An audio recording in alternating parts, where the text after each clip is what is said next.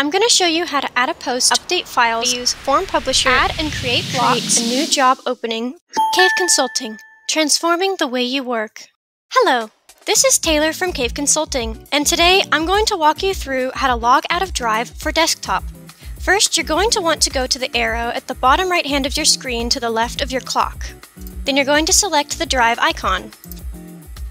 From here, you're going to want to select the gear in the upper right hand corner of the new window.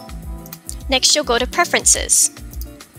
And again, when this window pops up, you'll go to the gear in the upper right-hand corner.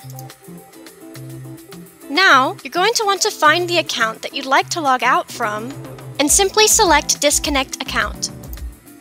Now, a couple reasons why you may want to do this include being unable to see files in a Drive for Desktop folder that you can see in the browser or mobile app. Signing out and signing back in may correct this issue. Another reason may be that another user needs to log into their account and you don't want them having access to yours.